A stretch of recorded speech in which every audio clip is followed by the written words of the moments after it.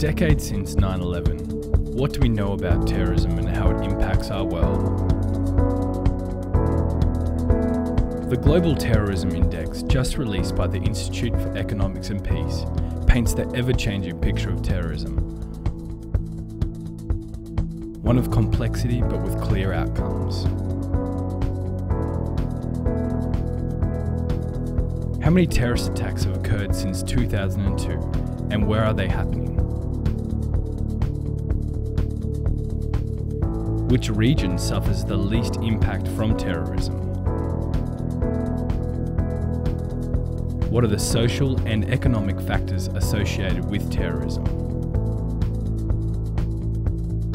What are the most commonly used weapons?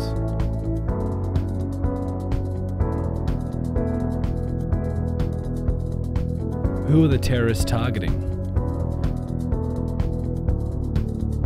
One of the more intriguing facts is that Western Europeans are 19 times more likely to be killed by a terrorist attack than US citizens.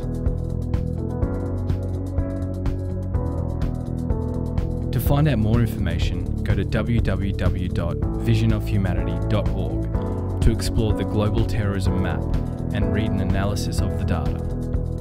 Only by measuring terrorism can we understand its nature, rethink strategies for tackling it, and shift the focus towards building lasting peace.